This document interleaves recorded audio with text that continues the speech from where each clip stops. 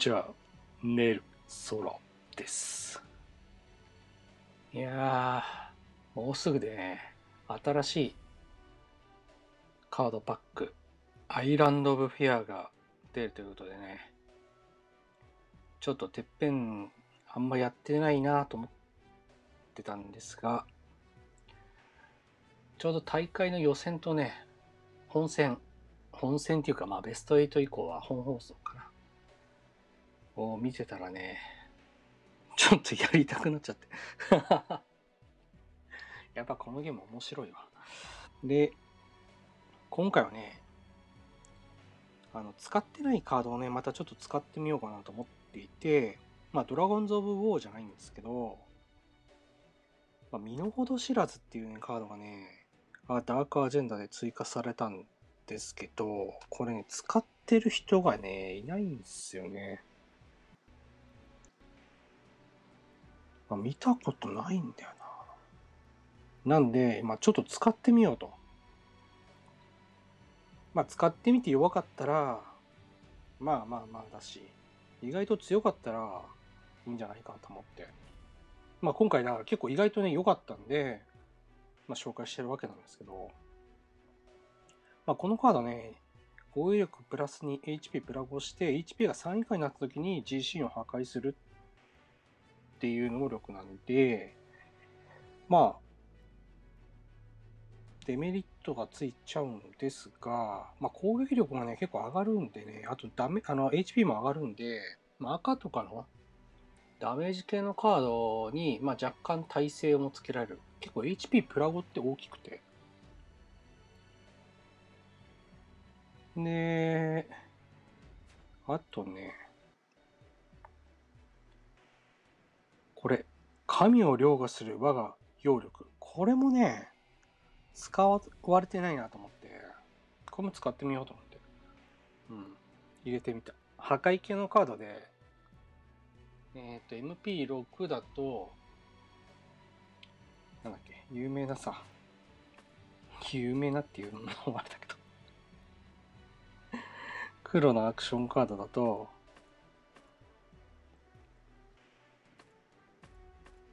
有名なやつが一個あったじゃん。やべ、ちょっともう一回取り直すか。まあ、冊ね。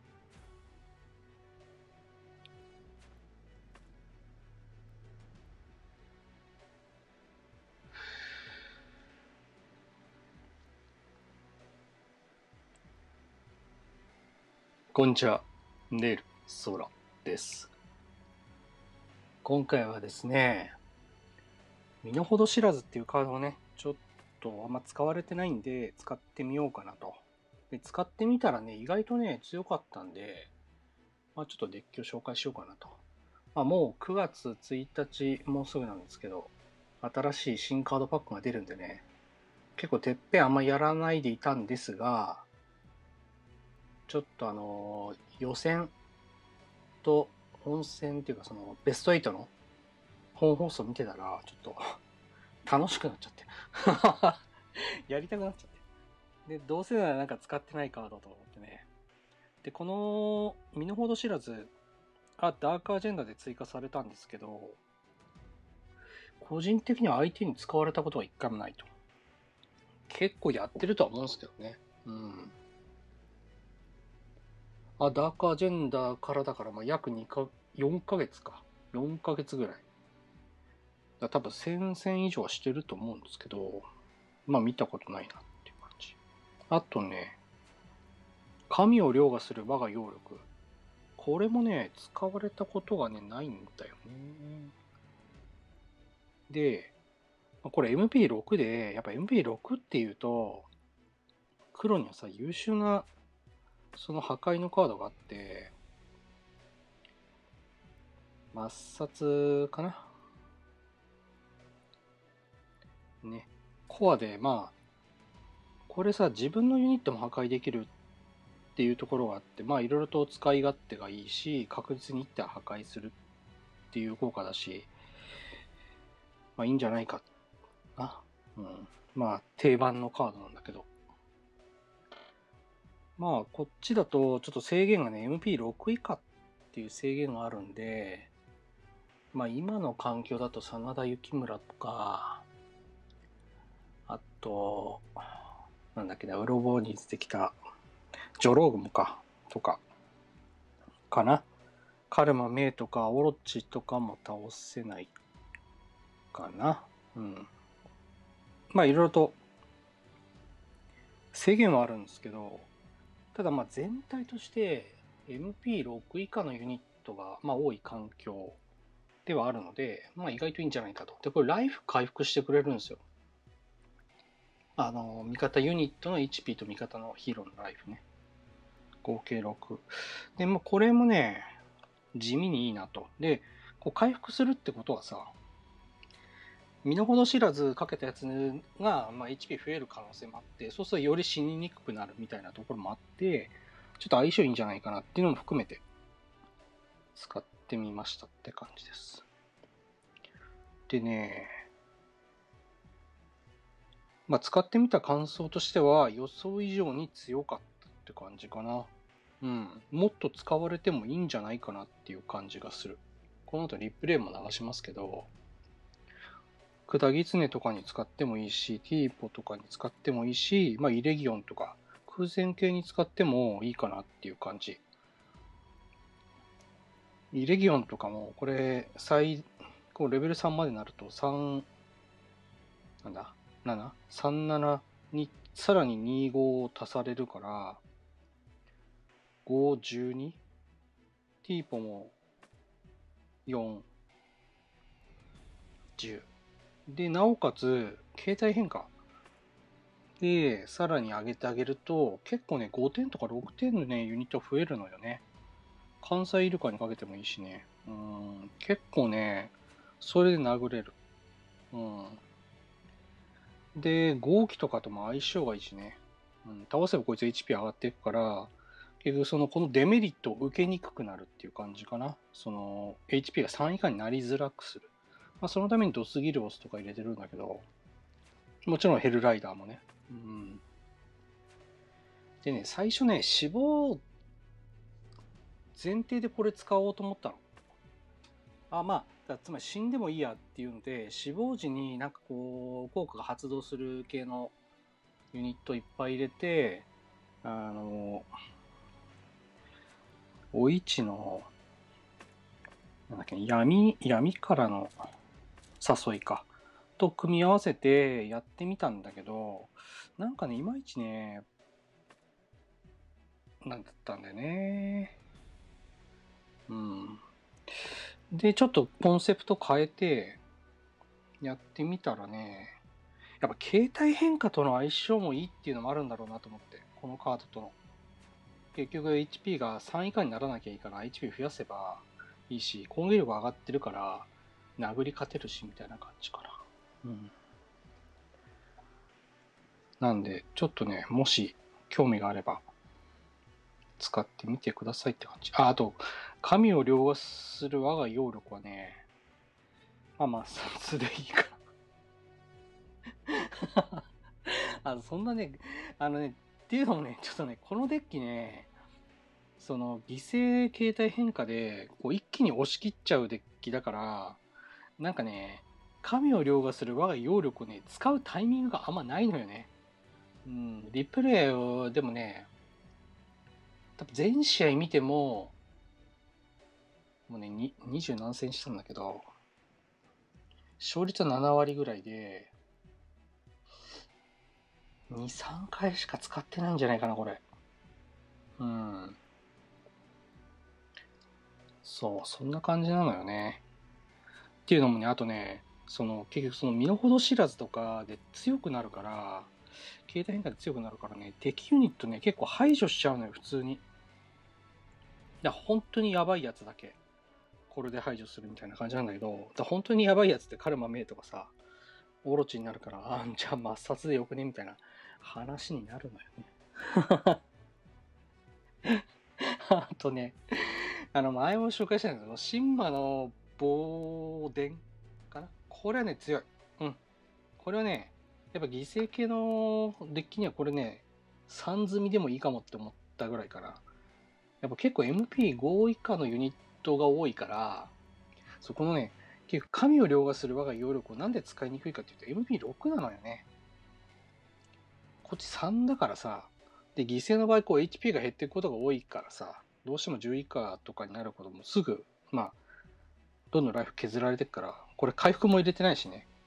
だ余計にこのね、神魔の妨来がね、結構終盤でしっかり MP5 のやつを背負ってくれて、まあ、相手は勝ったと思った瞬間に、サクッといけるっていうね。うん。結構強かった。うん。っていう感じかな。まあ、っていう感じで、身の程知らずデッキ、身の程知らずを使おうデッキね、ちょっと試していただければと思います。はい。この後、リプレイの方、どうぞ。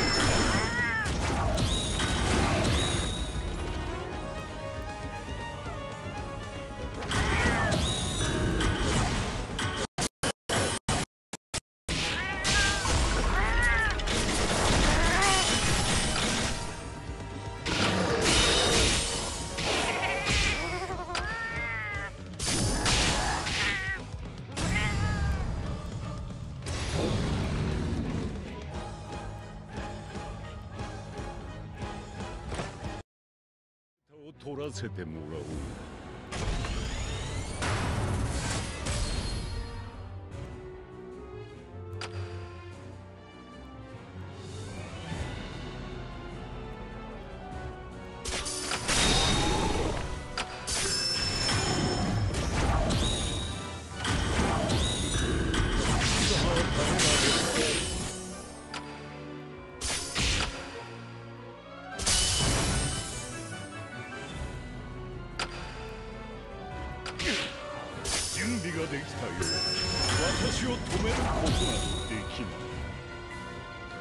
you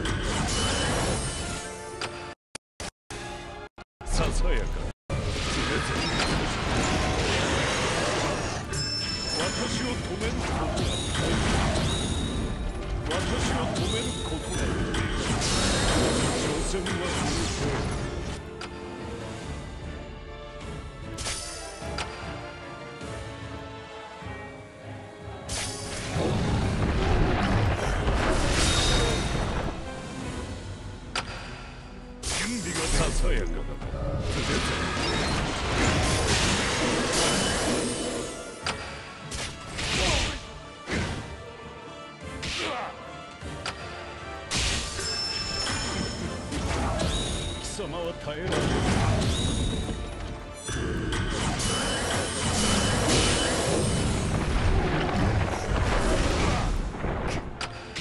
私の邪魔をするなうわ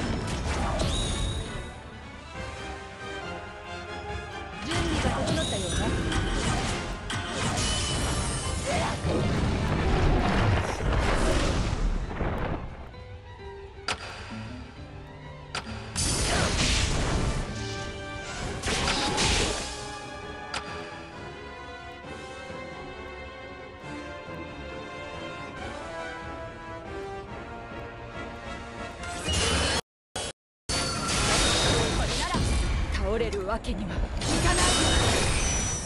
倒れるわけにはいかない。